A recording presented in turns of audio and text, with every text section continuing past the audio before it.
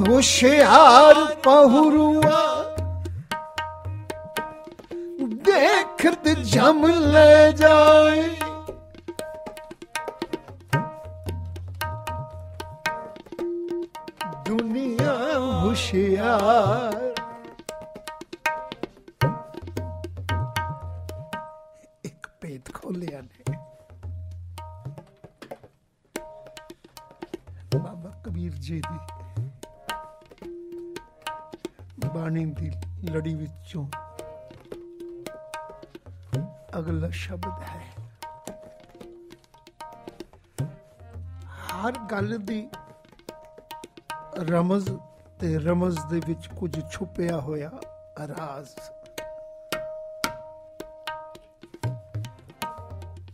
ਅਕਸਰ ਲੋਕ ਇਹ ਸਮਝਦੇ ਨੇ ਕਿ ਪਹਿਰੇਦਾਰ ਰੱਖ ਲੈਣਾ ਆਪਣੀ ਦੌਲਤ ਦੀ, ਆਪਣੀ ਸੰਪਦਾ ਦੀ ਹਿਫਾਜ਼ਤ ਲਈ ਉਹਦੇ ਨਾਲ ਅਸੀਂ ਬੇਫਿਕਰ ਹੋ ਜਾਂਦੇ ਹਾਂ। ਲੋਕ ਸਮਝਦੇ ਨੇ, ਅਕਸਰ ਪਹਿਰੇਦਾਰ ਰੱਖਦੇ ਇਸ ਲਈ ਨੇ ਕਿ ਜੇ ਪਹਿਰੇਦਾਰ ਰੱਖਿਆ ਹੋਵੇਗਾ, ਅਸੀਂ ਸੁਖ ਦੀ ਨੀਂਦ, ਬੇਫਿਕਰੀ ਦੀ ਨੀਂਦ ਸੋਵਾਂਗੇ। ਪਰ ਇੱਥੇ ਬਾਬਾ ਕਬੀਰ ਜੀ ਨੇ ਬੜੀ ਲੌਜਿਕ ਤੇ ਸੱਚੀ ਰਮਜ਼ ਦਿੱਤੀ ਹੈ। ਕਹਿੰਦੇ ਨੇ, ਪਹਿਰੇਦਾਰ, ਕੋਈ ਤੁਹਾਡੇ ਸੰਪਦਾ ਦੀ, ਤੁਹਾਡੀ ਦੌਲਤ ਦੀ ਰਾਖੀ ਨਹੀਂ ਕਰਦਾ। ਜੀ ਭਲਾ 10 ਡਾਕੂ ਆ ਜਾਣ 2 4 6 ਚੋਰ ਆ ਜਾਣ। ਤੇ ਇਕੱਲਾ ਪਹਿਰੇਦਾਰ ਉਹਨਾਂ ਦੇ ਸਾਹਮਣੇ ਕੀ ਚੀਜ਼ ਹੈ? ਕੀ ਰਾਖੀ ਕਰ ਸਕਦਾ ਹੈ? ਭਾਵੇਂ ਜਾਗਦਾ ਹੈ। ਪਹਿਰੇਦਾਰ ਦਾ ਕੰਮ ਕੇਵਲ ਜਾਗਣਾ ਹੈ। ਉਹ ਸੌ ਨਹੀਂ ਸਕਦਾ। ਤੁਸੀਂ ਸੌ ਸਕਦੇ ਹੋ ਜਦੋਂ ਪਹਿਰੇਦਾਰ ਰੱਖ ਲਓ। ਪਹਿਰੇਦਾਰ ਸੌ ਨਹੀਂ ਸਕਦਾ, ਜੇ ਸੌ ਜਾਏ,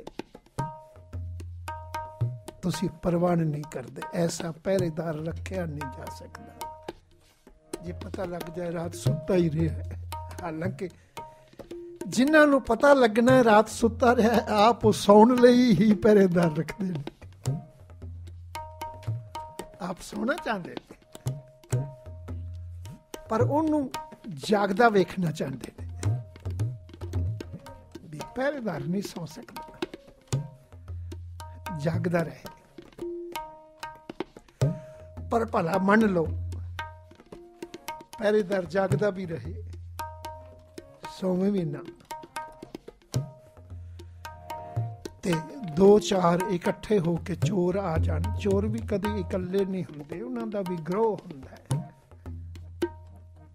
ਕਾਫਲਾ ਹੁੰਦਾ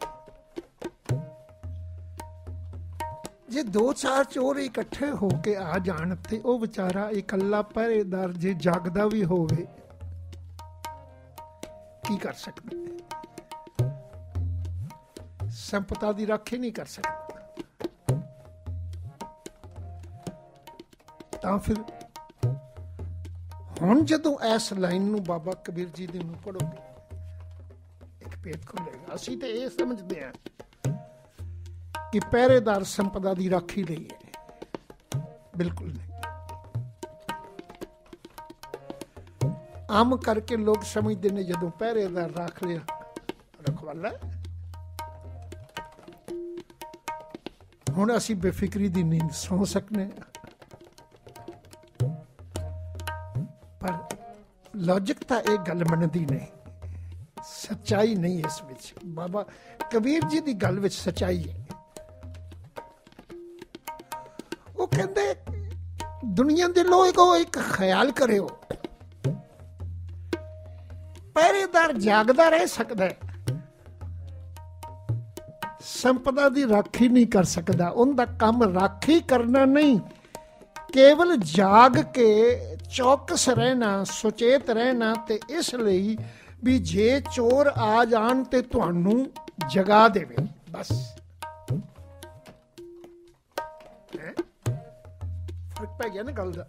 ਇਹ ਕਹਿ ਰਾਖੀ ਕਰਨਾ। ਇਹ ਕਹਿ ਰਾਖੀ ਦੀ ਮੇਰੀ ਜ਼ਿੰਮੇਵਾਰੀ ਨਹੀਂ, ਤੁਹਾਡੀ ਹੈ, ਤੁਹਾਡੀ ਸੰਪਦਾ ਹੈ। ਮੈਂ ਤੁਹਾਨੂੰ ਕੇਵਲ ਹੁਸ਼ਿਆਰ ਕਰਨਾ ਜਾਗਰਤ ਕਰਨਾ ਇਸੇ ਲਈ ਪੁਰਾਤਨ ਸਮੇਂ ਤੋਂ ਜਿਹੜੇ ਲੋਕ ਮਹੱਲਿਆਂ ਵਿੱਚ, ਪਿੰਡਾਂ ਵਿੱਚ ਪਹਿਰੇਦਾਰ ਰੱਖਦੇ ਸਨ, ਉਹਨਾਂ ਦੀ ਬੋਲੀ, ਉਹਨਾਂ ਦੀ ਆਵਾਜ਼ ਬੜੀ ਪ੍ਰਚਲਿਤ ਹੋ ਗਈ ਸੀ ਉਹ। ਹਰ 2 4 10 ਮਿੰਟ ਬਾਅਦ ਇੱਕ ਆਵਾਜ਼ ਦਿੰਦੇ ਸਨ, ਜਾਗਦੇ ਰਹੋ। ਕਿਹੜੀ ਅਜੀਬ ਗੱਲ ਹੈ। ਜੇ ਉਹਨਾਂ ਨੇ ਜਾਗਣਾ ਹੈ, ਤੇ ਤੈਨੂੰ ਰੱਖਣ ਦਾ ਕੀ ਫਾਇਦਾ? ਪਰ ਇਸ ਗੱਲ ਵਿੱਚ ਸਚਾਈ ਹੈ। ਉਹ ਕਹਿੰਦੇ, ਕੇਵਲ ਹੁਸ਼ਿਆਰ ਰਹਿਣ ਲਈ ਆਵਾਜ਼ ਦਿੰਦੇ ਸਨ। ਤਾਂ ਕਿ ਤੁਸੀਂ ਜਾਗਦੇ ਰਹੋ। ਤੁਸੀਂ ਸੌਵੋ ਨਾ। ਕਿਹੜੀ ਅਜੀਬ ਗੱਲ ਹੈ। ਇਹ ਨਹੀਂ ਕਿ ਮੈਂ ਰਾਖੀ ਕਰਾਂਗਾ। ਰਾਖੀ ਤੁਸੀਂ ਕਰਨੀ ਹੈ। ਕਿਸਮ ਤਾਂ ਤੁਹਾਡੀ ਹੈ। ਸਾਡਾ ਕੰਮ ਤਾਂ ਕੇਵਲ ਤੁਹਾਨੂੰ ਜਾਗਦੇ ਰਹਿਣ ਲਈ ਆਵਾਜ਼ ਦੇਣਾ ਜਗਾਣਾ ਸਾਡਾ ਕੰਮ ਹੈ, ਰਾਖੀ ਕਰਨਾ ਨਹੀਂ ਜੇ ਤੁਸੀਂ ਸੁੱਤੇ ਰਹੋਗੇ ਤੇ ਪਹਿਰੇਦਾਰ ਦੇ ਜਾਗਿਆਂ ਜਾਗਦੇ ਹੁੰਦੇ ਵੀ ਲੁੱਟੇ ਜਾਓਗੇ। ਕਿਉਂਕਿ ਉਹ ਸਹੀ ਇਕੱਲੇ ਨੇ, ਤੁਹਾਡੀ ਰਾਖੀ ਨਹੀਂ ਕਰ ਸਕਦੇ। ਲਓ, ਹੁਣ ਜ਼ਰਾ ਇਸ ਬਾਬਾ ਕਬੀਰ ਜੀ ਦੀ ਲਾਈਨ ਨੂੰ ਦੁਬਾਰਾ ਪੜੋ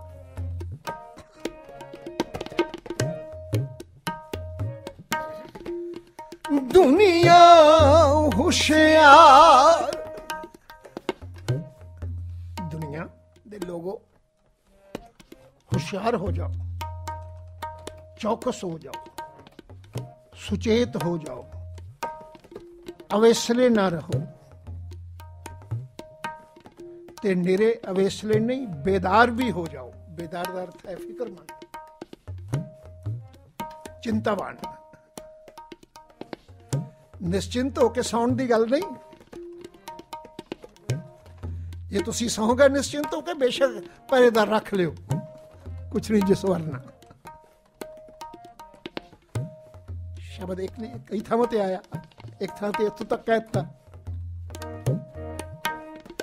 ਪੰਜ ਪਹੁਰੂਆਂ ਦਰ ਮੇ ਰਹਤੇ ਇੱਕ ਨਹੀਂ, ਦੋ ਨਹੀਂ, ਚਾਰ ਨਹੀਂ, ਪੰਜ ਪਹਿਰੇਦਾਰ ਦਰਵਾਜ਼ੇ ਤੇ ਬਿਠਾ ਲਓ। ਕਿ ਫਿਰ ਤੁਹਾਨੂੰ ਵਿਸ਼ਵਾਸ ਹੈ ਕਿ ਤੁਸੀਂ ਨਹੀਂ ਲੁੱਟੇ ਜਾਓਗੇ? ਪੰਚ ਪਹੁਰੂਆ ਦਰ ਮੇ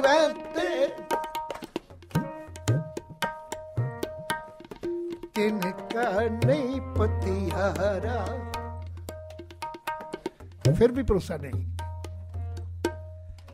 ਤੇ ਭਰੋਸਾ ਕਿਸ ਗੱਲ ਵਿੱਚ ਹੈ ਚੇਤ ਸੁਚੇਤ ਚਿਤ ਰਹੋ ਹਮੇਸ਼ਾ ਚੇਤੇ ਰੱਖੋ ਚੋਰ ਆ ਸਕਦੇ ਨੇ ਹਮੇਸ਼ਾ ਸੁਚੇਤ ਰਹੋ, ਡਾਕੂ ਆ ਸਕਦੇ ਨੇ, ਘਰ ਲੁੱਟਿਆ ਜਾ ਸਕਦਾ ਹੈ। ਚੇਤ, ਸੁਚੇਤ ਚਿੱਤ ਹੋਏ ਰਹੋ। ਸੁਤੇ, ਸੁਚੇਤ ਚਿੱਤ ਹੋ ਕੇ ਰਹਿਣਾ। ਕਦੀ ਅਵੇਸਲਾ ਨਾ ਹੋਣਾ। ਨਸ਼ੇ ਕੀ ਚੀਜ਼ ਨੇ? ਇਹਦੇ ਵਿੱਚ ਜ਼ਰੂਰੀ ਨਹੀਂ ਮਨੁੱਖ ਸੌ ਜਾਂਦਾ। ਜ਼ਰੂਰੀ ਨਹੀਂ ਸਮਝ ਆਉਂਦਾ ਹੈ। ਨਸ਼ਈ ਹੋ ਕੇ ਮਨੁੱਖ ਅਚੇਤ ਹੋ ਜਾਂਦਾ ਹੈ। ਬੇਹੋਸ਼ੀ ਕਿਨੂੰ ਕਹਿੰਦੇ ਨੇ? ਅਚੇਤਨ, ਜਿੰਦੇ ਵਿੱਚ ਚੇਤਨਾ ਖੋ ਜਾਏ। ਸੰਸਾਰ ਦੀਆਂ ਉਹ ਕੌਮਾਂ ਜਿਹੜੀਆਂ ਨਸ਼ਈ ਹੋ ਜਾਂਦੀਆਂ ਨੇ, ਖਤਮ ਹੋ ਜਾਂਦੀਆਂ ਦੂਰ ਨੇੜੇ ਅਸੀਂ ਦੇਖ ਆਮ ਕਰਕੇ ਕਹਿੰਨੇ ਆ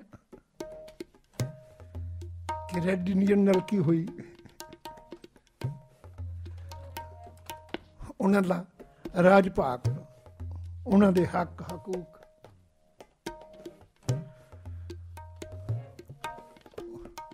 ਜੋ ਸਨ, ਉਹਨਾਂ ਨੂੰ ਖੋ ਲੈਣ ਲਈ, ਉਹਨਾਂ ਨੂੰ ਖਤਮ ਕਰਨ ਲਈ ਲੋਕ ਕਹਿੰਦੇ ਨੇ, ਤੁਸੀਂ ਪੜ੍ਹਦੇ ਹੋ ਇਤਿਹਾਸ ਦੇ ਦੇ ਪੰਨਿਆਂ ਤੇ। ਕਿ ਉਹਨਾਂ ਨੂੰ ਨਸ਼ਈ ਕਰ ਦਿੱਤਾ ਗਿਆ। ਜਦੋਂ ਨਸ਼ਈ ਹੋ ਜਾਂਦਾ, ਮਨੁੱਖ ਆਪਣੀ ਦੌਲਤ ਦਾ ਚੇਤਾ ਹੀ ਨਹੀਂ ਰਹਿੰਦਾ। ਆਪਣੇ ਰਾਜ ਭਾਗ ਦਾ, ਆਪਣੇ ਦੌਲਤ ਸੰਪਦਾ, ਸਮਾਨ ਦਾ ਚੇਤਾ ਹੀ ਨਹੀਂ ਰਹਿੰਦਾ। ਸਨਮਾਨ ਦਾ ਵੀ ਚੇਤਾ, ਸਨਮਾਨ ਵੀ ਇੱਕ ਦੌਲਤ ਹੈ। ਉਹਦਾ ਵੀ ਚੇਤਾ ਨਹੀਂ ਰਹਿੰਦਾ। ਉਹਨਾਂ ਦੇ ਇਲਾਕਿਆਂ ਵਿੱਚ ਨਸ਼ੇ ਫਰੀ ਕਰ ਦਿੱਤੇ। ਔਰ ਮੈਂ ਕਰ ਕਰਾਂ ਜਿੰਨੇ ਸੰਸਾਰ ਦੇ ਲੋਕ, ਮੈਂ ਇੱਕ ਵਾਰ ਪਿਛਲੇ ਦਿਨਾਂ 'ਚ ਵੀ ਅਰਜ਼ ਕੀਤੀ ਸੀ ਕਿ ਜਿੰਨੇ ਸੰਸਾਰ ਦੇ ਲੋਕ ਸਿਆਸਤ ਤੇ, ਰਾਜ ਸਿੰਘਾਸਨ ਤੇ ਬੈਠੇ ਨੇ, ਉਹ ਚਾਹੁੰਦੇ ਨੇ ਪਰਜਾ ਨਸ਼ਈ ਹੋ ਜਾਏ। ਸੁਚੇਤ ਨਾ ਰਹੇ। ਉਹ ਕਦੀ ਪ੍ਰਜਾ ਨੂੰ ਸੁਚੇਤ ਨਹੀਂ ਦੇਖਣਾ ਚਾਹੁੰਦੇ। ਉਹਨਾਂ ਨੂੰ ਪਤਾ ਹੈ, ਪਰਜਾ ਅਚੇਤ ਹੋਵੇਗੀ ਤੇ ਜੋ ਚਾਹਾਂਗੇ, ਉਹ ਕਰੀ ਜਾਵਾਂਗੇ। ਜੇ ਪ੍ਰਜਾ ਸੁਚੇਤ ਹੋ ਗਈ, ਉਹਨੂੰ ਆਪਣੇ ਹੱਕ ਚੇਤੇ ਆ ਗਏ, ਉਹ ਆਪਣਾ ਭਲਾ ਬੁਰਾ ਪਛਾਣਨ ਲੱਗ ਪਈ। ਪਿਛਲੇ ਦਿਨਾਂ 'ਚ ਮੈਂ ਇੱਕ ਐਗਜ਼ਾਮਪਲ ਦਿੱਤੀ ਸੀ। ਕਿ ਸਤਗੁਰੂ ਨੇ ਬਾਣੀ ਵਿੱਚ ਮਿਰਗ ਨਾਮ ਥੱਲੇ ਕੁਝ ਐਗਜ਼ਾਮਪਲ ਉਦਾਹਰਨ ਦਿੱਤੇ ਨੇ ਕਿ ਮਿਰਗ ਵਿੱਚ ਬਹੁਤ ਸਾਰੇ ਗੁਣ ਨੇ। ਪਛਾਣ ਦੇ। ਪਛਾਣ ਦੇ ਸਾਰੇ ਅੰਗ ਉਹਦੇ ਕੋਲ ਨੇ ਔਰ ਸਾਰੇ ਗੁਣ ਨੇ। ਤੇ ਮੈਂ ਅਰਜ਼ ਕੀਤੀ ਸੀ, ਅੱਖਾਂ ਦੇਖ ਕੇ ਪਛਾਣਦੀਆਂ ਨੇ। ਕੰਨ ਸੁਣ ਕੇ ਪਛਾਣਦੇ ਨੇ। ਨਾਸਕਾ ਸੁੰਘ ਕੇ ਪਛਾਣਦੇ ਇਹਨਾਂ ਵਿੱਚ ਨਿਗਾ ਅੱਖਾਂ ਜਿਹੜੀਆਂ ਨੇ ਉਹ ਸਥੂਲ ਨੂੰ ਵੇਖ ਕੇ ਪਛਾਣਦੀਆਂ ਨੇ। ਕੰਨ ਜਿਹੜੇ ਨੇ ਉਹ ਸੁਣ ਕੇ ਪਛਾਣਦੇ ਨੇ। ਆਵਾਜ਼ ਨੂੰ, ਉਹ ਸਥੂਲ ਨਹੀਂ ਹੁੰਦੀ। ਪਰ ਉਹਦੀ ਵੀ ਆਹਟ ਹੁੰਦੀ ਹੈ। ਹਰ ਆਵਾਜ਼ ਵਿੱਚ ਆਹਟ ਹੈ। ਆਵਾਜ਼ ਪੈਦਾ ਹੀ ਆਹਟ ਹੁੰਦੀ ਇੱਕ ਇਹਦਾ ਗੁਣ ਹੈ। ਅਸੀਂ ਜਦੋਂ ਸੰਗੀਤ ਦੀਆਂ ਕਿਤਾਬਾਂ ਪੜ੍ਹਨੇ ਤੇ ਉਹਦੇ ਵਿੱਚ ਵੀ ਇਹ ਲਫ਼ਜ਼ ਆਉਂਦੇ ਨੇ ਕਿ ਜਿੰਨੀ ਆਵਾਜ਼ ਹੈ, ਉਹ ਆਹਟ ਤੋਂ ਪੈਦਾ ਹੁੰਦੀ ਹੈ।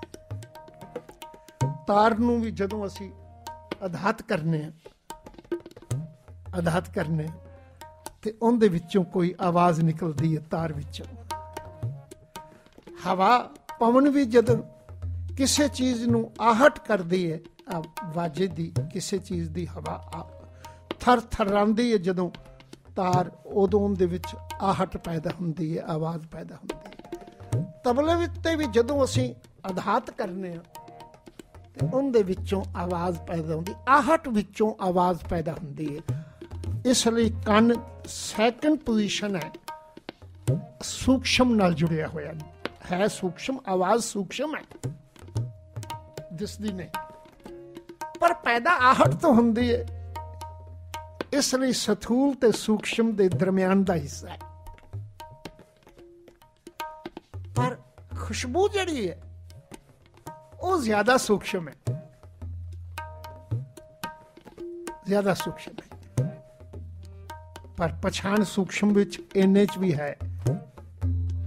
ਜਿਵੇਂ ਮਨੁੱਖ ਆਵਾਜ਼ ਨੂੰ ਵੱਖ-ਵੱਖ ਆਵਾਜ਼ਾਂ ਨੂੰ ਪਛਾਣ ਜਾਂਦਾ ਹੈ ਨਾ, ਗੁਰੂ ਨੇ ਬਾਣੀ ਵਿੱਚ ਵੀ ਆਖ ਦਿੱਤਾ ਕਿ ਨਾਦ ਵੀ ਮੈਂ ਸੁਣ ਕੇ ਵਿਸਮਾਦ ਨਾਦ, ਵਿਸਮਾਦ ਵੇਦ, ਮੈਂ ਨਾਦ ਵੀ ਸੁਣ ਕੇ ਹੈਰਾਨ ਹੁੰਨਾ ਵੀ ਹਰ ਮਨੁੱਖ ਜਿਹੜਾ ਦੁਨੀਆ ਦਾ ਅਨੇ ਸੰਸਾਰ ਦੇ ਲੋਕ ਪੈਦਾ ਹੋਏ ਨੇ। ਹਰ ਇੱਕ ਨੂੰ ਜਿੱਥੇ ਸਰੂਪ ਵੱਖ ਦਿੱਤਾ ਹੈ, ਮਤ ਐਸਾ ਨਾ ਹੋਵੇ ਇੱਕ ਦੂਜੇ ਕੋਲੋਂ ਕੋਈ ਪਛਾਣ ਨਾ ਕਰ ਸਕੇ। ਜੇ ਭਲਾ ਬਿਲਕੁਲ ਸਹੀ ਰੂਪ ਵਿੱਚ 100% ਇੱਕੋ ਜੇ ਕੋਈ ਚਾਰ ਬੰਦੇ ਹੋ ਜਾਂਦੇ, ਮੁਸ਼ਕਲ ਹੋ ਜਾਂਦਾ ਪਛਾਣ। ਹਾਂ, ਇਹ ਗੱਲ ਵੱਖਰੀ ਜਿੰਨੇ ਕਿਸੇ ਨੂੰ ਘੱਟ ਵੇਖਿਆ ਹੋਵੇ, ਦੂਰੋਂ ਵੇਖਿਆ ਹੋਵੇ, ਉਹ ਥੋੜਾ ਫ਼ਰਕ ਨਹੀਂ ਪਛਾਣ ਸਕਦਾ। ਪਰ ਜਿਹੜਾ ਜ਼ਿਆਦਾ ਨੇੜੇ ਰਹਿੰਦਾ ਹੈ, ਉਹ ਥੋੜਾ ਫ਼ਰਕ ਵੀ ਪਛਾਣ ਲੈਂਦਾ ਤਾਂ ਹੀ ਅਸੀਂ ਇੱਕ ਦੂਜੇ ਨੂੰ ਪਛਾਣ ਸਕਨੇ ਪਰਿਵਾਰਕ ਤੌਰ ਤੇ। ਵੱਖਰੇ ਵੱਖਰੇ ਸਰੂਪ ਨੇ ਕਰੋਨਾ ਅਰਬਾਂ ਆਦਮੀ ਨੇ, ਸਭ ਦੇ ਸਰੂਪ ਵੱਖਰੇ ਨੇ। ਅਰਬਾਂ ਆਦਮੀ ਨੇ ਸਭ ਦੀ ਆਵਾਜ਼ ਵਿੱਚ, ਨਾਦ ਵਿੱਚ ਫ਼ਰਕ ਹੈ। ਆਦੀ ਪਛਾਣ ਹੁੰਦੀ। ਇਸ ਬਾਦ ਨਾਦ। ਪਰ ਕਿਡੀ ਜੀਬ ਗੱਲ ਹੈ। ਉਹਦੀ ਤਾਂ ਫਿਰ ਆਹਟ ਹੈ। ਜਿਸ ਦਿਨ ਆਹਟ ਖਤਮ ਹੁੰਦੀ ਹੈ, ਉਸ ਦਿਨ ਨਾਦ ਖਤਮ ਹੋ ਜਾਂਦਾ ਹੈ। ਪਰ ਖੁਸ਼ਬੂ ਐਨੀ ਸੂਖਮ ਹੈ, ਉਹਨੂੰ ਨਾ ਆਹਟ ਦੀ ਲੋੜ ਹੈ। ਐਨੀ ਸੂਖਮ ਹੈ, ਪਰ ਨਾਸਕਾ ਵਿੱਚ ਇੱਕ ਗੁਣ ਰੱਖਿਆ ਹੈ ਕਿ ਉਹ ਖੁਸ਼ਬੂ ਨੂੰ ਪਛਾਣ ਲੈਂਦਾ ਹੈ। ਸੈਂਕੜੇ ਖੁਸ਼ਬੂਆਂ ਉਹਦੇ ਸਾਹਮਣੇ ਰੱਖ ਦਿਓ ਵੱਖ-ਵੱਖ ਫੁੱਲਾਂ ਦੀਆਂ। ਜਿੰਦੇ ਕੋਲ ਪਛਾਣ ਹੀ ਨਹੀਂ, ਉਹ ਗੱਲ ਵੱਖਰੀ ਹੈ, ਪਰ ਜਿੰਦੇ ਕੋਲ ਪਛਾਣ ਹੈ, ਦੱਸ ਦੇਵੇਗਾ ਇਹ ਖੁਸ਼ਬੂ ਕਿਹੜੇ ਫੁੱਲ ਦੀ ਹੈ। ਵੱਖਰੀ ਵੱਖਰੀ। ਤੇ ਤੋਂ ਕਾਈ ਸੀ ਵੀ ਗੁਰੂ ਸਾਹਿਬ ਦਾ ਇੱਕ ਐਗਜ਼ਾਮਪਲ ਉਦਾਹਰਨ ਹੈ ਵੀ ਇਹ ਤਿੰਨੋਂ ਗੁਣ ਜਿਹੜੇ ਨੇ ਮਿਰਗ ਵਿੱਚ ਮੌਜੂਦ ਨੇ। ਮਿਰਗ ਵਿੱਚ ਦੇਖਣ ਸ਼ਕਤੀ ਵੀ ਹੈ। ਐਨੀ ਦੂਰ ਤੱਕ ਕਿ ਮੀਲਾਂ ਦੂਰ ਤੱਕ ਦੇਖ ਸਕਦਾ ਹੈ। ਪਰ ਪਛਾਣ ਦੇ ਵਿੱਚ ਇੰਨੀ ਘਾਟ ਪਾਇਆ ਗਿਆਨ ਵਿੱਚ ਇੰਨੀ ਘਾਟ ਪੈ ਗਈ ਕਿ ਦੂਰੋਂ ਦੇਖ ਕੇ ਝਲਕ ਨੂੰ ਰੇਤ ਦੀ ਝਲਕ ਨੂੰ ਪਾਣੀ ਸਮਝ ਬੈਠਾ। ਹੁਣ ਕੁਰਬਾਨੀ ਇੰਨੀ ਦੌੜਿਆ ਜਾਂਦਾ। ਪਰ ਪਛਾਣ ਕੋਈ ਨਹੀਂ। ਅੱਖਾਂ ਦੇਖ ਸਕਦੀਆਂ ਨੇ। ਜਿਸ ਦਾ ਵੀ ਪਾਣੀ ਹੈ ਦੌੜਦਾ ਵੀ ਪਾਣੀ ਮਗਰ ਹੈ। ਪਰ ਗਿਆਨ ਵੀ ਹੁਣਾ ਹੋ ਕੇ ਜਾਣ ਗਵਾ ਬੈਂਦਾ ਕਹਿਣ ਲੱਗੇ ਇਸੇ ਤਰ੍ਹਾਂ ਕੰਡੇ ਹੇੜੇ ਦੀ ਆਵਾਜ਼ ਹੈ। ਉਹ ਵੀ ਇੱਕ ਪਛਾਣ ਹੈ। ਆਵਾਜ਼ ਕੰਨਾਂ ਨੇ ਸੁਣਨੀ ਹੈ। ਕੰਨਾਂ ਵਿੱਚ ਸ਼ਕਤੀ ਹੈ, ਉਹ ਆਵਾਜ਼ ਨਾਲ ਪਿਆਰ ਕਰਦਾ ਹੈ, ਪਰ ਹੁੰਦਾ ਕੀ ਹੈ? ਆਵਾਜ਼ ਦੀ ਪਛਾਣ ਗਿਆਨ ਗਿਆਨਹੀਨ ਹੈ, ਇਸ ਲਈ ਇੰਨਾ ਨਹੀਂ ਜਾਣਦਾ ਕਿ ਕੰਡੇ ਹੇੜੇ ਦੀ ਆਵਾਜ਼ ਤੇ ਮੈਨੂੰ ਜ਼ਰੂਰ ਪਿਆਰੀ ਹੈ, ਪਰ ਇਹਦੇ ਵਰਗੀ ਆਵਾਜ਼ ਪੈਦਾ ਵੀ ਕੀਤੀ ਜਾ ਸਕਦੀ ਹੈ ਆ ਗੱਲ ਨਹੀਂ ਸਮਝਦਾ। ਪੈਦਾ ਕੀਤੀ ਜਾ ਸਕਦੀ ਬਲਕਿ ਮੈਂ ਤੇ ਪਿਛਲੇ ਦਿਨਾਂ ਚ ਐਗਜ਼ਾਮਪਲ ਦਿੱਤੀ ਸੀ, ਜਿਹੜਾ ਵੀ ਫਾਈ ਵਾਲਾ ਹੈ ਨਾ ਜਿਹੜਾ ਵੀ ਸ਼ਿਕਾਰੀ ਹੈ, ਉਹ ਵੇਖਦਾ ਹੈ ਕਿ ਮਿਰਗ ਦੇ ਮਗਰ ਦੌੜ ਕੇ ਫੜਨਾ ਬੜਾ ਔਖਾ ਹੈ। ਉਹ ਕੰਡੇ ਹੇੜੇ ਦੀ ਆਵਾਜ਼ ਵਰਗੀ ਆਵਾਜ਼ ਪੈਦਾ ਕਰ ਲੈਂਦਾ ਹੈ। ਤੇ ਮਿਰਗ ਆਪੇ ਹੀ ਦੌੜਿਆ ਹੁੰਦਾ ਤੇ ਮੈਂ ਆਖਿਆ ਕਿ ਏਡੀ ਅਜੀਬ ਗੱਲ ਹੈ। ਸ਼ਿਕਾਰੀ ਬੜੇ ਸਿਆਣੇ ਨੇ, ਉਹਨਾਂ ਆਖਿਆ, ਸਿੱਖ ਨੂੰ ਗੁਰੂ ਦਸਮ ਪਾਤਸ਼ਾਹ ਨਾਲ ਬੜਾ ਪਿਆਰ ਹੈ। ਹੈ ਵੀ ਹੋਣਾ ਵੀ ਚਾਹੀਦਾ ਜੀਵਨ ਦਾਤਾ ਹੈ। ਬੜਾ ਪਿਆਰ ਹੈ। ਉਹਨੇ ਬਚਿੱਤਰ ਨਾਟਕ ਉੱਤੇ ਦਸਮ ਲਿਖ ਲਿਖ ਦਿੱਤਾ। ਦਸਮ ਲਿਖ। ਦਿੱਤਾ ਸੇ ਕਾਪੀ ਦੌੜਿਆ ਜੀ। ਸ਼ਿਕਾਰੀ ਦੀ ਕਿੱਡੀ ਜ਼ਿਆਦਾ ਕਸਬ ਸੀ। ਤੂੰ ਸਿੱਖ ਨੂੰ ਵੱਡੀ ਚੀਜ਼ ਉਹ ਹੀ ਮਿਰਗ ਵਾਲੀ ਆ ਗਈ। ਪਿਆਰ ਜ਼ਰੂਰ ਹੈ, ਪਛਾਣ ਨਾ ਰਹੇ। ਗਿਆਨ ਕੋਈ ਨਹੀਂ। ਗਿਆਨ ਵੀ ਹੋਣਾ ਹੀ ਅਚੇਤ ਹੁੰਦਾ ਹੈ, ਸੁਚੇਤ ਨਹੀਂ ਹੁੰਦਾ। ਨੀਂਦ ਕਹਿੰਦੇ ਹੀ ਗਿਆਨ ਵੀ ਹੋਣੇ, ਨਸ਼ਾ ਕਹਿੰਦੇ ਹੀ ਗਿਆਨ ਵੀ ਹੋਣੇ ਨੂੰ। ਤੇ ਜਿਸ ਕਿਸੇ ਮਨੁੱਖ ਨੂੰ, ਕੌਮ ਨੂੰ ਖਤਮ ਕਰਨਾ ਹੋਵੇ, ਉਹਨੂੰ ਗਿਆਨ ਵੀ ਹੋਣਾ ਕਰ ਦਿਓ। ਹੁਣ ਬਾਬਾ ਕਬੀਰ ਜੀ ਦਾ ਅੱਜ ਦਾ ਸ਼ਬਦ ਕੇਵਲ ਇਸੇ ਲਈ ਹੈ। ਕਹਿਣ ਲੱਗੇ ਮੈਂ ਦੇਖਦਾ ਕੀ ਹਾਂ। ਨੀਮ ਭਇਓ ਆਂਬ ਭਇਓ ਨੀਂਬਾ। ਦੁਨੀਆ ਦੇ ਲੋਗੋ, ਹੁਸ਼ਿਆਰ ਹੋ ਜਾਓ। ਜਾਗਦੇ ਰਹੋ। ਇਹ ਨਾ ਸਮਝੋ ਕਿ ਪਹਿਰੇਦਾਰ ਹੁੰਦੇ ਹੁੰਦੇ ਅਸੀਂ ਨਹੀਂ ਲੁੱਟੇ ਜਾ ਸਕਦੇ। ਪਹਿਰੇਦਾਰ ਕੇਵਲ ਜਗਾਉਣ ਲਈ ਹੈ, ਤੁਹਾਡੀ ਰਾਖੀ ਕਰਨ ਲਈ ਬਿਲਕੁਲ ਨਹੀਂ। ਜੇ ਪਹਿਰੇਦਾਰ ਦੇ ਜਗਾਇਆ ਤੁਸੀਂ ਜਾਗੋਗੇ ਨਹੀਂ, ਤਾਂ ਪਹਿਰੇਦਾਰ ਦੇ ਹੁੰਦਿਆਂ ਹੀ ਲੁੱਟੇ ਜਾਓਗੇ। ਦੁਨੀਆ ਹੁਸ਼ਿਆਰ। ਆਪ ਜਾਗੋ। ਆਪ ਜਾਗੋ। ਤੇ ਬੇਦਾਰ ਫਿਕਰ ਕਰੋ। ਚਿੰਤਾ ਰੱਖੋ। ਕਦੀ ਅਵੇਸਲੇ ਨਾ ਹੋਵੋ ਕਿ ਸਾਡਾ ਘਰ ਨਹੀਂ ਲੁੱਟਿਆ ਜਾ ਸਕਦਾ। ਬੇਦਾਰ ਦਾ ਅਰਥ ਹੈ ਫਿਕਰਮੰਦ ਰਹਿਣਾ। ਹਮੇਸ਼ਾ ਪਰੇਸ਼ਾਨ ਰਹਿਣਾ। ਚਿੰਤਾ ਰੱਖਣੀ, ਸੁਚੇਤ ਹੋਣਾ। ਦੋ ਚੀਜ਼ਾਂ ਇਕੱਠੀਆਂ ਜ਼ਰੂਰ ਜਾਗਣਾ ਤੇ ਜਾਗ ਕੇ ਬੇਦਾਰ ਹੋਣਾ, ਫਿਕਰਮੰਦ ਹੋਣਾ। ਅੱਜ ਦਾ ਦੁਖਾਂਤ ਕੀ ਹੈ? ਕੌਮ ਜਾਗ ਨਹੀਂ ਰਹੀ। ਨਸ਼ੇ ਵਿੱਚ ਹੈ। ਇਹ ਨਹੀਂ ਸੰਸਾਰਿਕ ਨਸ਼ੇ, ਉਹ ਤੇ ਹੈ ਅੱਜ ਦੇ ਪੜ੍ਹੇ ਲਿਖੇ ਯੁੱਗ ਅੰਦਰ ਅੱਜ ਦੇ ਐਡਵਾਂਸ ਯੁੱਗ ਅੰਦਰ ਦੁਨੀਆ ਨੂੰ, ਸੰਸਾਰ ਨੂੰ ਆਪਣੀ ਮੁਠੀ ਵਿੱਚ ਰੱਖਣ ਵਾਸਤੇ ਨਸ਼ਿਆਂ ਦੀ ਵਰਤੋਂ ਅੱਜ ਵੀ ਵੰਡੇ ਜਾ ਰਹੇ ਨੇ। ਜੇ ਆ ਦੇਖੀਏ, ਅਸੀਂ ਕਹਿ ਦਿੰਨੇ ਆ ਲੋੜੀ ਪੰਜਾਬ ਵਿੱਚ ਕਿਹੜੀ ਅਜੀਬ ਗੱਲ ਹੈ, ਘਰ ਘਰ ਨਸ਼ੇ ਪੁੱਜ ਗਏ ਤਾਂ ਕਿ ਬਾਹਰ ਵੀ ਸਮਗਲਿੰਗ ਨਹੀਂ ਹੋ ਰਹੀ ਨਸ਼ਿਆਂ ਦੀ। ਇੱਥੇ ਵੀ ਤੇ ਹੋ ਰਹੀ ਹੈ। ਆਖਰ ਨਸ਼ੇ ਦਾ ਮਸਲਾ ਤਾਂ ਇੱਕੋ ਹੀ ਹੈ, ਭਾਵੇਂ ਭੰਗ ਹੈ, ਭਾਵੇਂ ਸ਼ਰਾਬ ਹੈ। ਤੇ ਭਾਵੇਂ ਡਰਗ ਹੈ। ਇਹ ਮਨੁੱਖ ਦੀ ਜਿਹੜੀ ਸੁਚੇਤ ਚੇਤਨਤਾ ਹੈ, ਉਹਨੂੰ ਗਵਾਉਣ ਦਾ ਇੱਕ ਤਰੀਕਾ ਹੈ।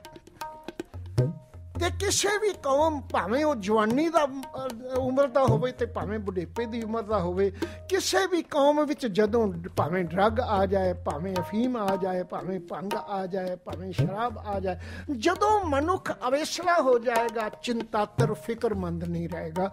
ਆਪਾਂ ਇਹੋ ਤਾਂ ਆਮ ਨਸ਼ੇ ਦੀ ਹਾਲਤ ਵਿੱਚ ਦੇਖਣੇ ਅੱਜ ਦੇ ਰਾਜ ਦੀ ਸਭ ਤੋਂ ਵੱਡੀ ਸ਼ਕਤੀ ਇਹੋ ਬਣ ਗਈ ਅੱਜ ਦੇ ਰਾਜ ਦੀ ਇੱਕ ਕੌੜੀ ਸੱਚਾਈ ਹੈ। ਅੱਜ ਦੇ ਰਾਜ ਭਗ ਦੀ ਸਭ ਤੋਂ ਵੱਡੀ ਸ਼ਕਤੀ ਇਹੋ ਬਣ ਗਈ ਹੈ ਕਿ ਸੰਸਾਰ ਦੀ ਜਿੰਨੀ ਉਮਤ ਹੈ ਪਰਜਾ ਇਹਨਾਂ ਨੂੰ ਨਸ਼ਈ ਕਰ ਦਿਓ। ਸੁਚੇਤਾ ਖਤਮ ਹੋ ਜਾ। ਚੇਤਨ ਤਾਂ ਖਤਮ ਹੋ ਜਾ। ਅੱਜ ਅਚੇਤ ਹੋ ਕੇ, ਸੁਚੇਤ ਹੋ ਕੇ ਸਾਡੇ ਘਰ ਦੀ ਆਪਣੇ ਹੱਕਾਂ ਦੀ ਦੌਲਤ ਤੱਕ ਕਿਤੇ ਰਹਿ ਗਈ, ਸਾਡੇ ਕੋਲ ਧਰਮ ਸਿਧਾਂਤ ਦੀ ਦੌਲਤ ਵੀ ਲੁੱਟੀ ਜਾ ਰਹੀ ਹੈ। ਥੋੜੀ ਸਚਾਈ ਹੈ ਅਸੀਂ ਦੇਖ ਰਹੇ ਹਾਂ ਸਾਹਮਣੇ ਦੇਖ ਰਹੇ ਹਾਂ ਪਰ ਜਿਵੇਂ ਨਸ਼ਈ ਆਦਮੀ ਸਾਹਮਣੇ ਦੇਖਦਾ ਹੈ ਸਭ ਕੁਝ ਪਰ ਅਚੇਤ ਹੋ ਜਾਂਦਾ ਹੈ ਉਹਨੇ ਜੋ ਦੇਖ ਰਿਹਾ ਹੁੰਦਾ ਹੈ ਉਹਦੇ ਸੰਬੰਧ ਵਿੱਚ ਜਿਵੇਂ ਗੁਰੂ ਨੇ ਬਾਣੀ ਵਿੱਚ ਆਖ ਦਿੱਤਾ ਨਾ ਪੇਖਤ ਚਾਖਤ ਕਈਤ ਅੰਧਾ ਸੁਣੀਤ ਸੁਣੀਏ ਨਹੀਂ ਵੇਖਦੇ ਚਾਖਦੇ ਅੰਧਾ ਕੀ ਨਹੀਂ ਅੱਜ ਸਾਡੇ ਮੰਚ ਤੇ, ਸਾਡੇ ਸਮਾਜ ਵਿੱਚ, ਸਾਡੀ ਸਤਾ ਤੇ, ਸਾਡੇ ਵਿਹੜੇ ਵਿੱਚ ਹੋ ਰਿਹਾ? ਕਦਮ ਕਦਮ ਤੇ ਧਰਮ ਨਾਮ ਥੱਲੇ ਝੂਠ ਬੋਲਿਆ ਜਾ ਰਿਹਾ ਹੈ। ਧਰਮ ਨਾਮ ਥੱਲੇ ਫਰੇਬ ਹੋ ਰਹੇ ਨੇ। ਦੁਨੀਆ ਦਾ ਹਰ ਮਨੁੱਖ ਦੇਖ ਰਿਹਾ ਹੈ। ਦੇਖ ਕੇ ਔਖਾ ਹੁੰਦਾ ਹੋਇਆ ਮੁੜ ਕੇ ਫਿਰ ਸਲਾਮਾ ਕਰੀ ਜਾਂਦਾ। ਬਾਬਾ ਕਬੀਰ ਜੀ ਦਾ ਕੁਦਰਤੀ ਇਹ ਸ਼ਬਦ ਸਾਹਮਣੇ ਆਇਆ, ਲੜੀਵਾਰ ਆਇਆ ਹੈ। ਤੇ ਮੈਂ ਚਾਹੁੰਦਾ ਸੀ ਇਹਨੂੰ ਚੰਗੀ ਤਰ੍ਹਾਂ ਸਮਝ ਲਈਏ। ਬਾਬਾ ਕਬੀਰ ਜੀ ਕਿੱਡਾ ਸੁਚੇਤ ਕਰਦੇ, ਕਹਿੰਦੇ ਨੇ ਭਲਿਆ, ਮਤ ਭੁਲੇਖੇ ਵਿੱਚ ਰਹੇ ਕਿ ਤੇਰੇ ਤਾਂ ਦਰਵਾਜ਼ੇ ਤੇ ਹੁਸ਼ਿਆਰ ਨਿਗਮ ਵੇਦ ਸ਼ਾਸਤਰ ਬੈਠੇ ਨੇ। ਭਾਵੇਂ ਨੂੰ ਸ੍ਰੀ ਗੁਰੂ ਗ੍ਰੰਥ ਸਾਹਿਬ ਜੀ ਸਮਝ ਲਈਏ। ਸ੍ਰੀ ਗੁਰੂ ਗ੍ਰੰਥ ਸਾਹਿਬ ਵਰਗਾ ਹੁਸ਼ਿਆਰ ਪਹਿਰੇਦਾਰ ਹੋਰ ਕੌਣ ਹੋ ਸਕਦਾ? ਸ੍ਰੀ ਗੁਰੂ ਗ੍ਰੰਥ ਸਾਹਿਬ ਵੀ ਹੁਸ਼ਿਆਰ ਪਹਿਰੇਦਾਰ ਹੈ। ਸਾਡੀ ਜ਼ਿੰਦਗੀ ਦਾ। ਪਰ ਇੱਕ ਖਿਆਲ ਕਰਿਓ, ਜੇ ਸ੍ਰੀ ਗੁਰੂ ਗ੍ਰੰਥ ਸਾਹਿਬ ਦੀ ਆਵਾਜ਼ ਸੁਣ ਕੇ ਜਾਗਦੇ ਰਹੋ, ਕੋਈ ਘਰ ਦਾ ਮਾਲਕ ਜਾਗੇਗਾ ਨਹੀਂ, ਤੇ ਇਹ ਬਿਨਾ ਜਾਗੇ ਤਾਂ ਘਰ ਲੁੱਟਿਆ ਹੀ ਜਾਣਾ ਹੈ। ਅੱਜ ਕੀ ਜਿੱਥੇ ਲੁਟੇਰੇ ਬੈਠੇ ਨੇ, ਉੱਥੇ ਸ੍ਰੀ ਗੁਰੂ ਗ੍ਰੰਥ ਸਾਹਿਬ ਦਾ ਪ੍ਰਕਾਸ਼ ਨਹੀਂ? ਕੀ ਉੱਥੇ ਬੈਠਾ? ਸ੍ਰੀ ਗੁਰੂ ਗ੍ਰੰਥ ਸਾਹਿਬ ਜਾਗਦੇ ਰਹੇ ਦੀ ਆਵਾਜ਼ ਨਹੀਂ ਦੇ ਰਿਹਾ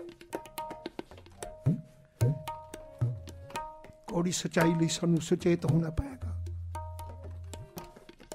ਸ੍ਰੀ ਗੁਰੂ ਗ੍ਰੰਥ ਸਾਹਿਬ ਦੀ ਮੌਜੂਦਗੀ ਵਿੱਚ ਸ੍ਰੀ ਗੁਰੂ ਗ੍ਰੰਥ ਸਾਹਿਬ ਨੂੰ ਮੱਥਾ ਟੇਕਦੇ ਆਂ ਪਰਕਰਮਾ ਕਰਦੇ ਆਂ ਰੁਮਾਲੇ ਚੜਾਉਂਦੇ ਆਂ ਕੜਾ ਪ੍ਰਸ਼ਾਦ ਕਰਾਉਂਦੇ ਆਂ ਅਸੀਂ ਗੁਰੂ ਵਾਲੇ ਅਖਵਾਉਂਦਿਆਂ ਹੋਇਆਂ ਜਿਵੇਂ ਅਸੀਂ ਪਹਿਰੇਦਾਰ ਵਾਲੇ ਅਖਵਾਉਂਦਿਆਂ ਹੋਇਆਂ ਲੁੱਟੇ ਜਾ ਰਹੇ ਹੋਈਏ।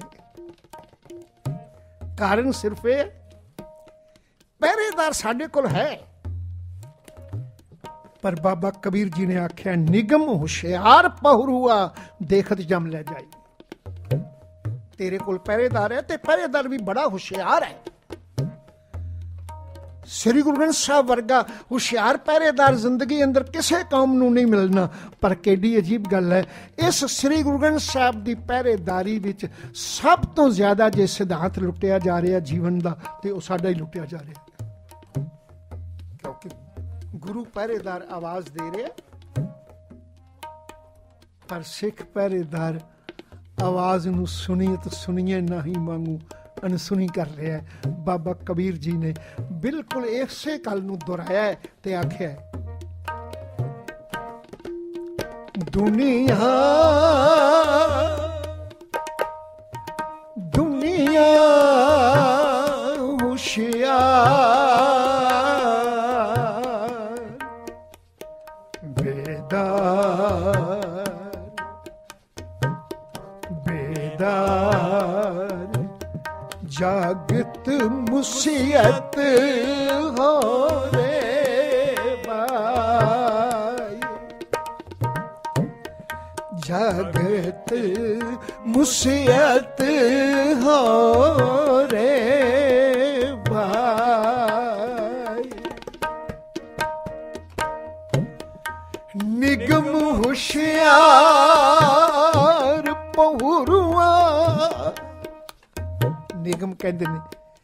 ਧਾਰਮਿਕ ਗ੍ਰੰਥਾਂ ਨੂੰ, ਵੇਦਾਂ ਸ਼ਾਸਤਰਾਂ ਨੂੰ ਕਹਿਣ ਲੱਗੇ, ਧਾਰਮਿਕ ਗ੍ਰੰਥਾਂ ਦੇ, ਹੁਸ਼ਿਆਰ ਗ੍ਰੰਥਾਂ ਦੇ ਹੁੰਦਿਆਂ ਹੋਣ ਦੇ ਬਾਵਜੂਦ ਤੂੰ ਉਹਨਾਂ ਦੇ ਦੇਖਦਿਆਂ ਦੇਖਦਿਆਂ ਲੁੱਟਿਆ ਜਾ ਰਿਹਾ ਕਿਉਂਕਿ ਉਹ ਤੇ ਹੁਸ਼ਿਆਰ ਨੇ, ਤੈਨੂੰ ਜਾਗਦੇ ਰਹਿਣ ਲਈ ਆਵਾਜ਼ਾਂ ਵੀ ਦੇ ਰਹੇ ਨੇ, ਪਰ ਤੂੰ ਹੁਸ਼ਿਆਰ ਨਹੀਂ ਹੋ ਰਿਹਾ। ਨਿਗਮ ਹੁਸ਼ਿਆਰ ਪਹੁਰਵਾ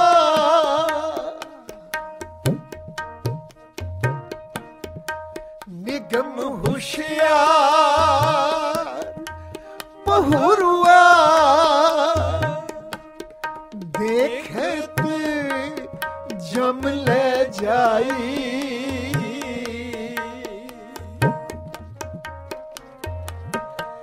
ਦੇਖਤ ਜਮ ਲੈ ਜਾਈ।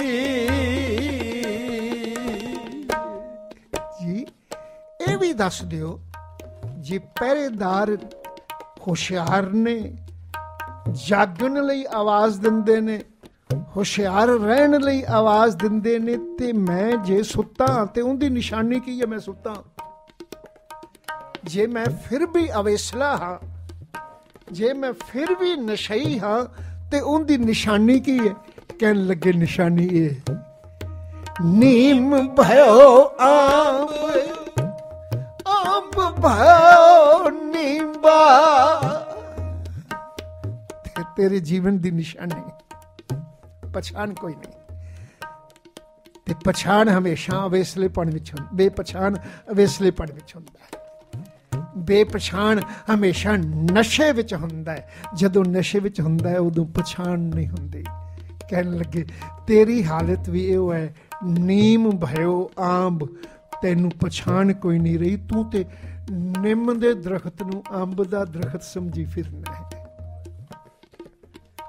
ਤੇ ਅੰਬ ਦੇ ਦਰਖਤ ਨੂੰ ਪੇੜ ਨੂੰ ਨਿੰਮ ਦਾ ਦਰਖਤ ਸਮਝ ਕੇ ਥੂ ਥੂ ਕਰੀ ਜਾਣਾ ਉਹਦੇ ਤੋਂ ਨਫ਼ਰਤ ਕਰੀ ਜਾਣਾ ਉਹਦੇ ਤੋਂ ਦੂਰ ਹੋ ਰਿਹਾ ਤੂੰ ਨਿੰਮ ਤੇ ਅੰਬ ਦੀ ਪਛਾਣ ਨਹੀਂ ਕਰ ਸਕਿਆ। ਕਿ ਜਿਹੜਾ ਪੱਕਿਆ ਹੋਇਆ ਕੇਲਾ ਸੀ, ਉਹਨੂੰ ਤੂੰ ਇੱਕ ਝਾੜ ਸਮਝ ਲਿਆ।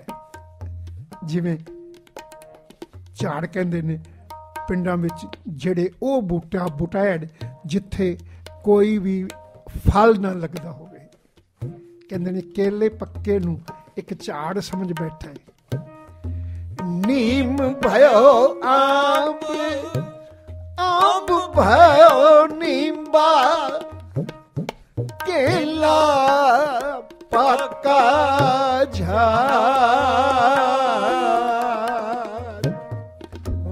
ਲੰਬੇਪਨ ਦੇ, ਦਰਖਤ ਦੇ ਲੰਬੇਪਨ ਵੱਲ ਧਿਆਨ ਦਵਾਉਂਦੇ ਨੇ ਤੇ ਕਹਿੰਦੇ ਨੇ ਕਈ ਵਾਰ ਐਸਾ ਵੀ ਹੁੰਦਾ ਹੈ ਨਾਲੀਅਰ ਜਿਹੜਾ ਨਾਰੀਅਲ ਦਾ ਦਰਖਤ ਹੁੰਦਾ, ਉਹ ਵੀ ਲੰਬਾ ਹੁੰਦਾ ਉੱਚਾ ਹੁੰਦਾ ਬੜਾ ਉੱਚਾ ਤੇ ਸੇਬ ਦਾ, ਸੇਂਬਰ ਦਾ, ਭਾਵ ਸਿੰਬਲ ਦਾ, ਉਹ ਦਰਖਤ ਵੀ ਬੜਾ ਉੱਚਾ ਹੁੰਦਾ ਗੁਰੂ ਨੇ ਬਾਣੀ ਵਿੱਚ ਆਖਿਆ, ਸਿੰਬਲ ਰੁਕ ਸਰਾਇਰਾ, ਅਤ ਦੀਰਘ, ਅਤ ਮੁੱਚ ਬੜਾ ਉੱਚਾ ਵੀ, ਬੜਾ ਚੌੜਾ ਕਹਿਣ ਲੱਗੇ ਨਾਲੀਅਰ ਦਾ ਭਾਵ ਨਰੀਏਲ ਦਾ ਜਿਹੜਾ ਦਰਖਤ ਸੀ, ਉਹ ਵੀ ਬੜਾ ਉੱਚਾ ਸੀ ਤੇ ਸਿੰਬਰ ਦਾ ਭਾਵ ਸਿੰਬਲ ਦਾ ਦਰਖਤ ਵੀ ਬੜਾ ਉੱਚਾ ਸੀ।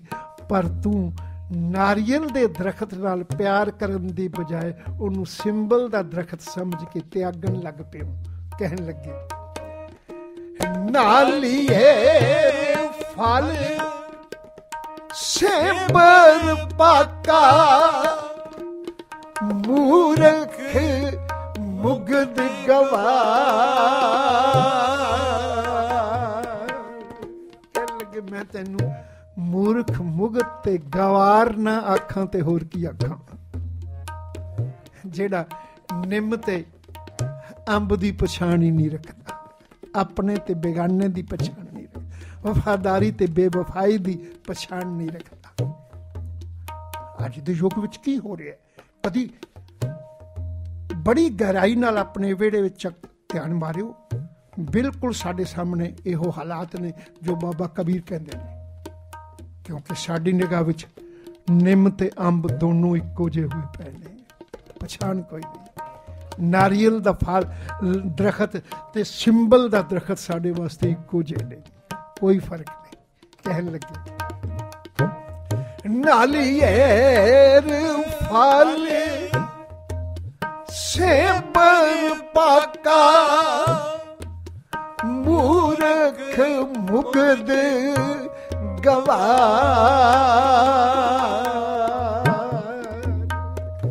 ਕਹਿ ਲੱਗੇ, ਸੱਚ ਤੇ ਝੂਠ ਦੀ ਪਛਾਣ ਕੋਈ ਨਹੀਂ ਰਹੀ। ਨੇਕੀ ਤੇ ਬਦੀ ਦੀ ਪਛਾਣ ਕੋਈ ਨਹੀਂ ਰਹੀ। ਤੇ ਕਿਵੇਂ ਹੋਵੇ? ਕਹਿਣ ਲੱਗੇ, ਸੱਚ ਕਹਿੰਦੇ ਨੇ ਰੱਬ ਨੂੰ ਝੂਠ ਕਹਿੰਦੇ ਨੇ ਰੇਤ ਨੂੰ। ਪਰ ਅੱਜ ਦੇ ਯੁੱਗ ਦੀ ਬਦਕਿਸਮਤੀ ਕਿ ਸੱਚ ਤੇ ਝੂਠ ਮਿਕਸ ਹੋ ਗਏ ਨੇ। ਪਛਾਣ ਕਰਨੀ ਔਖੀ ਹੋ ਗਈ ਹੈ। ਸੱਚ ਕੀ ਹੈ? ਝੂਠ ਕੀ ਹੈ? ਹਾਲਾਂਕਿ ਗੁਰੂ ਆਵਾਜ਼ਾਂ ਦਿੰਦਾ ਰਿਹਾ, ਪਹਿਰੇਦਾਰ ਆਵਾਜ਼ਾਂ ਦਿੰਦਾ ਰਿਹਾ, ਕੂੜ ਨਿਖੁੱਟੇ ਨਾਨਕਾ, ਔੜਕ ਸੱਚ ਰਹੀ। ਪਰ ਜਿਹੜੇ ਰੋਜ਼ ਪੜਨ ਵਾਲੇ ਸਨ, ਉਹਨਾਂ ਵਾਸਤੇ ਸੱਚ ਤੇ ਝੂਠ ਦਾ ਫ਼ਰਕ ਹੀ ਕੋਈ ਨਹੀਂ ਸੀ।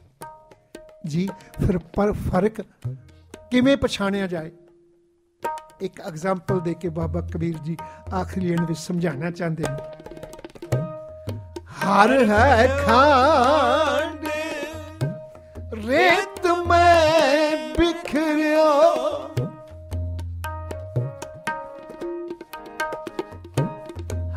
ਹਰ ਭਇਓ ਖਾਂਡ ਰੇਤ ਮੈਂ ਬਿਖਰਿਓ, ਹਸਤੀ ਚੁਣਿਓ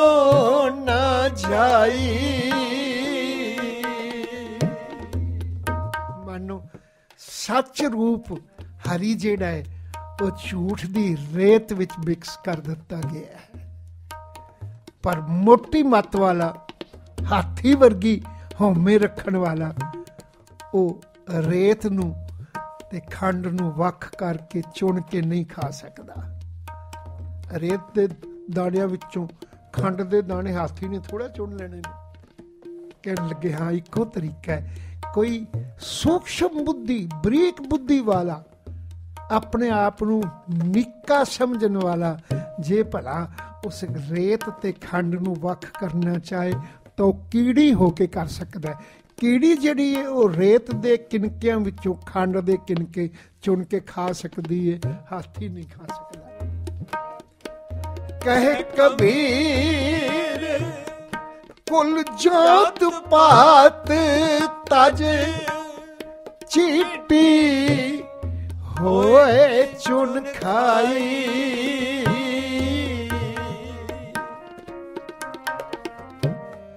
ਚੀਟੀ ਹੋਏ ਚੁਨ ਖਾਈ। ਬੇਦਾਰ ਜਗਤ ਮੁਸੀਅਤ ਹੋ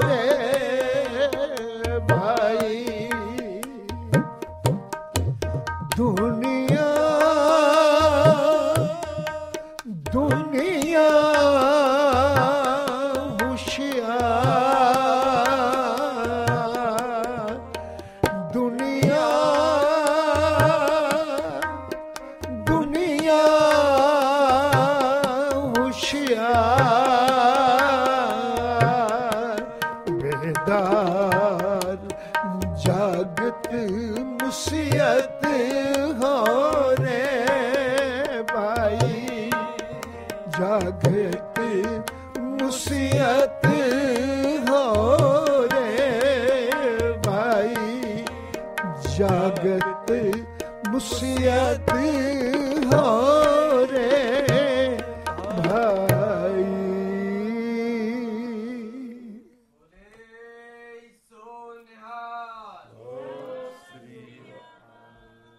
ਜਾਗਦੇ ਰਹਿਣਾ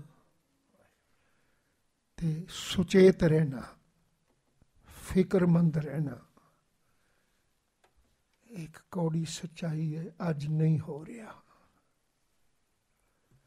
ਸਾਹਮਣੇ ਸਭ ਕੁਝ ਦੇਖ ਰਹੇ ਆ, ਪਰ ਹਰ ਕੋਈ ਆਪਣੇ ਜੀਵਨ ਦੇ ਨਸ਼ੇ ਵਿੱਚ ਹੈ। ਗੁਰੂ ਨੇ ਬਾਣੀ ਵਿੱਚ ਕਹਿ ਦਿੱਤਾ ਸਗਰ ਸਹੇਲੀ ਆਪਣੇ ਰਸ ਮਾਤੀ।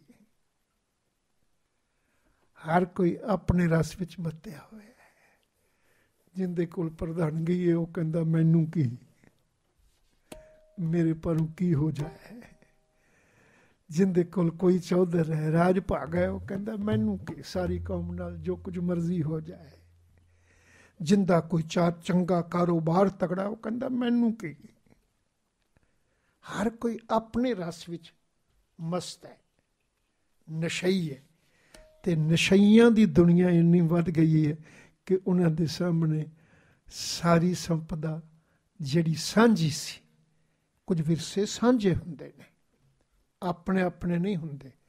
ਤੁਹਾਡੇ ਬੈਂਕ ਬੈਲੈਂਸ ਆਪਣੇ ਹੋ ਸਕਦੇ ਨੇ, ਤੁਹਾਡੇ ਘਰ ਆਪਣੇ ਹੋ ਸਕਦੇ ਨੇ, ਕਾਰਾਂ ਆਪਣੀਆਂ ਆਪਣੀਆਂ ਹੋ ਸਕਦੀਆਂ ਨੇ, ਪਰ ਇੱਕ ਖਿਆਲ ਕਰਿਓ, ਗੁਰੂ ਆਪਣਾ ਆਪਣਾ ਨਹੀਂ ਹੋ ਸਕਦਾ, ਰੱਬ ਆਪਣਾ ਆਪਣਾ ਨਹੀਂ ਹੋ ਸਕਦਾ ਧਰਮ ਆਪਣਾ ਆਪਣਾ ਨਹੀਂ ਹੋ ਸਕਦਾ, ਸਿੱਖੀ ਆਪਣੀ ਆਪਣੀ ਨਹੀਂ ਹੋ ਸਕਦੀ। ਉਹਦੇ ਤੇ ਜਦੋਂ ਨੁਕਸਾਨ ਹੋਏਗਾ, ਸਾਂਝਾ ਹੋਏਗਾ। ਉਹ ਸਾਡਾ ਸਾਰਿਆਂ ਦਾ ਹੋ ਰਿਹਾ ਹੈ। ਮੇਰਾ ਸਾਡਾ ਨਹੀਂ ਹੋ ਰਿਹਾ, ਆਉਣ ਵਾਲੀਆਂ ਜਨਰੇਸ਼ਨਾਂ ਦਾ ਵੀ ਹੋ ਰਿਹਾ ਹੈ। ਅਸੀਂ ਇਹ ਨਹੀਂ ਉਹਨਾਂ ਨੂੰ ਦੌਲਤ ਦੇ ਜਾਵਾਂਗੇ, ਸੰਪਦਾ ਦੇ ਜਾਵਾਂਗੇ, ਮਕਾਨ ਘਰ-ਬਾਰ ਬਣਾ ਕੇ ਦੇ ਜਾਵਾਂਗੇ, ਬੈਂਕ ਬੈਲ ਉਹ ਸਾਨੂੰ ਉਹ ਸੀਸਾਂ ਦਿੰਦੇ ਰਹਿਣਗੇ। ਬਹੁਤ ਕੁਝ ਐਸਾ ਗਵਾ ਵੀ ਜਾਵਾਂਗੇ, ਜਿਹੜਾ ਪਿਛਲਿਆਂ ਨੇ ਸਾਨੂੰ ਦਿੱਤਾ ਸੀ, ਅਸੀਂ ਅਗਲਿਆਂ ਨੂੰ ਨਹੀਂ ਦੇ ਸਕਾਂਗੇ। ਤੇ ਉਹਦਾ ਕਾਰਨ ਸਿਰਫ ਇੱਕੋ ਹੀ ਹੋਏਗਾ ਕਿ ਸਗਲ ਸਹੇਲੀ ਆਪਣੇ ਰਸਮਾਤੀ ਮੈਂ ਤੇ ਜਦੋਂ ਉਸ ਧਰਤੀ ਤੋਂ ਵਾਪਸ ਆਉਣਾ, ਅਨੇਕਾਂ ਸ਼ਿਕਵੇ ਮਨ ਅੰਦਰ ਇਹ ਹੋਈ ਦੇਖ ਕੇ ਲੈ ਆਉਣਾ, ਵੀ ਇੱਥੇ ਲੋਕ ਕਿਵੇਂ ਸੁੱਤੇ ਪਏ ਨੇ? ਸਭ ਕੁਝ ਦੇਖਦੇ ਆ ਜਾਗਰਤੀ ਕੋਈ ਨਹੀਂ। ਸਿਰਫ ਇੰਨਾ ਹੀ ਦੇਖ ਰਹੇ ਨੇ ਕਿ ਸਾਡਾ ਫਾਇਦਾ ਨੁਕਸਾਨ ਕੀ ਹੈ। ਹਰ ਕੋਈ ਆਪਣਾ ਫਾਇਦਾ ਨੁਕਸਾਨ ਸੋਚ ਰਿਹਾ ਤੇ ਉਹ ਫਾਇਦਾ ਨੁਕਸਾਨ ਵੀ ਕੇਵਲ ਤੇ ਕੇਵਲ ਦੁਨਿਆਵੀ ਪਦਾਰਥਾਂ ਵਿੱਚ ਦੇਖ ਰਿਹਾ ਹੈ, ਸਾਂਝੇ ਵਿਰਸੇ 'ਚ ਨਹੀਂ ਦੇਖ ਰਿਹਾ। ਤੇ ਜਿੰਨੀ ਦੇਰ ਅਸੀਂ ਉਸ ਵਿਰਸੇ ਨੂੰ ਨਹੀਂ ਸੰਭਾਲਾਂਗੇ, ਉਸੇ ਵਿਰਸੇ ਦਾ ਪਹਿਰੇਦਾਰ ਸ੍ਰੀ ਗੁਰੂ ਗ੍ਰੰਥ ਸਾਹਿਬ ਦੇ ਵਿੱਚ ਕੋਈ ਦੋ ਰਾਇਆ ਨਹੀਂ। ਗੁਰੂ ਨੇ ਆਖ ਦਿੱਤਾ, ਗੁਰ ਕਾ ਸ਼ਬਦ ਰਖਵਾਰੇ। ਉਹ ਪਹਿਰੇਦਾਰ ਹੈ। ਪਰ ਇੱਕ ਖਿਆਲ ਕਰਿਓ, ਪਹਿਰੇਦਾਰ ਤੁਹਾਨੂੰ ਕੇਵਲ ਰਾਖੀ ਕਰਨ ਲਈ ਆਵਾਜ਼ ਦਿੰਦਾ ਹੈ, ਜਗਾਉਂਦਾ ਹੈ। ਜਾਗਣਾ ਫਿਰ ਸਾਨੂੰ ਪੈਣਾ ਹੈ। ਜੇ ਅਸੀਂ ਸੁੱਤੇ ਰਹਾਂਗੇ, ਤੇ ਫਿਰ ਤਾਂ ਬਿਲਕੁਲ ਜਿਵੇਂ ਗੁਰੂ ਨੇ ਆਖਿਆ ਕਿ ਸਗਰ ਸਹਿਰੀ ਆਪਣੇ ਰਸਮਾਤੀ ਗ੍ਰਹਿ ਆਪਣੇ ਕੀ ਖਬਰ ਨਾ ਜਾਤੀ, ਆਪਣੇ ਘਰ ਦਾ ਉਹਨੂੰ ਪਤਾ ਹੀ ਨਹੀਂ ਕਿ ਮੂਸਨ ਹਾਰ ਪੰਚ ਬਟਵਾਰੇ, ਸੂਨੇ ਨਗਰ ਪਰੇ ਠੱਗ ਹਾਰੇ। ਗੁਰਬਾਣੀ ਹੈ। ਕਹਿਣ ਲੱਗੇ, ਐਨੇ ਰਸ ਵਿੱਚ ਮੱਤੀ ਹੋਈ, ਨਸ਼ੇ ਵਿੱਚ ਨਸ਼ੇ ਵਿੱਚ ਹੋ ਗਈ ਸਾਰੇ ਇੰਦਰੇ ਕਿ ਸੂਨੇ ਨਗਰ ਪਰੇ ਠੱਗ ਹਾਰੇ। ਵੇਖ ਲਿਆ, ਜਦੋਂ ਵੇਖਿਆ ਠੱਗਾਂ ਨੇ ਤਾਂ ਸਾਰੇ ਹੀ ਬੇਹੋਸ਼ ਪਏ ਨੇ। ਕਿਸੇ ਨੂੰ ਹੋਸ਼ ਨਹੀਂ। ਉਹ ਵੀ ਆ ਗਏ, ਸੂਨੇ ਨਗਰ ਪਰੇ ਠੱਗ ਹਾਰੇ। ਫਿਰ ਕਹਿਣ ਲੱਗੇ, ਉਹ ਤਾਂ ਇਹੋ ਜੇ ਠੱਗ ਰਹੇ ਜਿਨ ਉਨ ਤੇ ਰਾਖੇ, ਬਾਪ ਨਾ ਮਾਈ। ਕੋਈ ਮਾਈ ਬਾਪ ਵੀ ਐਸਾ ਤੁਹਾਡਾ ਮਦਦਗਾਰ ਨਹੀਂ ਜਿਹੜਾ ਉਹਨਾਂ ਕੋਲੋਂ ਰੱਖ ਸਕੇ। ਉਨ ਤੇ ਰਾਖੇ ਬਾਪ ਨਾ ਮਾਈ, ਉਨ ਤੇ ਰਾਖੇ ਮੀਤ ਨਾ ਪਾਈ। ਕੋਈ ਨਾ ਮਿੱਤਰ ਨਾ ਭਰਾ। ਉਹਨਾਂ ਠੱਗਾਂ ਕੋਲੋਂ, ਉਹਨਾਂ ਡਾਕੂਆਂ ਕੋਲੋਂ ਨਹੀਂ ਬਚਾ ਸਕਦਾ। ਕੇਵਲ ਇੱਕੋ ਹੀ ਤਰੀਕਾ ਹੈ ਕਿ ਗੁਰੂ ਆਖੇ, ਜਾਗਦੇ ਰਹੋ ਤੇ ਸਿੱਖ ਜਾਗ ਪਵੇ ਤੇ ਜਾਗ ਕੇ ਫਿਕਰਮੰਦ ਹੋ ਜਾਏ, ਬੇਦਾਰ ਹੋ ਜਾਏ, ਪਰੇਸ਼ਾਨ ਹੋ ਜਾਏ, ਚਿੰਤਾਤਰ ਹੋ ਜਾਏ ਕਿ ਮੈਂ ਆਪਣੀ ਸੰਪਦਾ ਨੂੰ, ਸਾਂਝੀ ਸੰਪਦਾ ਨੂੰ ਕਿਵੇਂ ਸੰਭਾਲਣਾ ਹੈ? ਇਹਨਾਂ ਸ਼ਬਦਾਂ ਨਾਲ ਖਿਮਾ ਦਾ ਜਾ ਚੁੱਕਾ ਫਤਿਹ ਬੁਲਾਓ। ਵਾਹਿਗੁਰੂ ਜੀ ਕਾ ਖਾਲਸਾ। ਵਾਹਿਗੁਰੂ ਜੀ